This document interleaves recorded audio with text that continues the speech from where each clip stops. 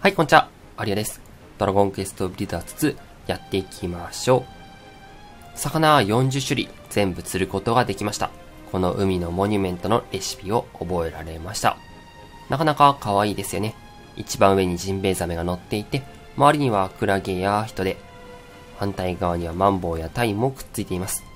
真珠貝やね、イソギンチャクも乗っていて、可愛いものになっています。このモニュメント、必要な素材が木材と桃色のサンゴ、サンゴ柱、真珠貝、イソギンチャク、そして溶岩石となっています。一番最後に言ったこの溶岩石、なかなか見つけるのが大変なんですよね。新しく追加された新素材島のブクブク島にあります。ブクブク島にあるはあるんですが、ちょっとした地形というか、まあ、地面の形みたいな場所にしか落ちていないので、今回はそれを紹介していこうと思います。ブクブク島に行って溶岩石を拾っていきましょう。はい、やってきました。ブクブク島です。この島は、ストーリーとスリル島のお話を全部クリアすると来れるそうです。公式ページに書いてありました。見た目はザブザブ島とそっくりですね。ザブザブ島を元にした地形になっていると思います。真ん中に大きな海が広がっていますね。ここでは新しく追加された、この長い海藻だったり、サンゴ柱、拾うことができます。イソギンチャクも落ちていますね。そして肝心の溶岩石ですが、普通に探していてはなかなか見つからないというか、落ちていないんですよね。とある地形というか塊のそばにのみ落ちています。まずはそれを探していきましょう。これですね。これが探していた塊というか地形です。濃いグレー岩の上に大きな水色のサンゴが乗っているのが目印になっています。周りにはイソギンチャクや海藻、サンゴ柱や真珠貝なども落ちています。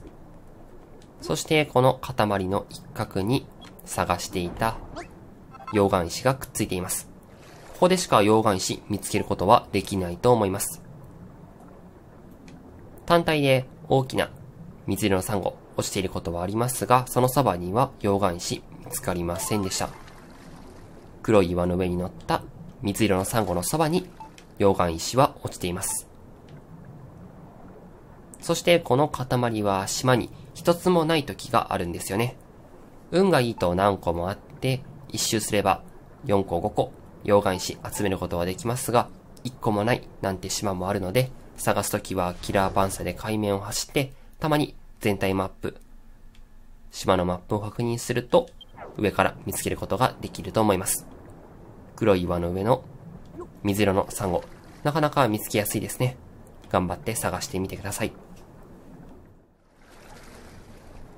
溶岩石を取ったら忘れずにイソギンチャクも持って帰りましょう。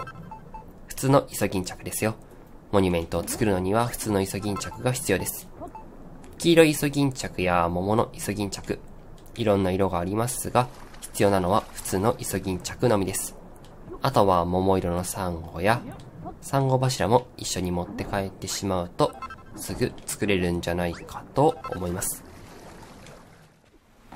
はい。というわけで今回はここまでです。海のモニュメントを作るのに必要な溶岩石の探し方をご紹介しました。新しい素材島のブクブク島にあります。海中にありますが、さっき紹介したように、黒い岩の上に乗った青いサンゴのそばにしか溶岩石は落ちていません。島に来たら海面を走りつつ、たまにマップを確認しながら探すといいでしょう。ぜひ魚40種類全部釣って溶岩石をゲットして、海のモニュメント飾ってみてください。なかなかおしゃれですね。ちなみに大きさは 2×2 マスの下面積が4マスだったかな。そんなに大きくはないです。どこにでも飾れるいいサイズですね。ぜひゲットしてみてください。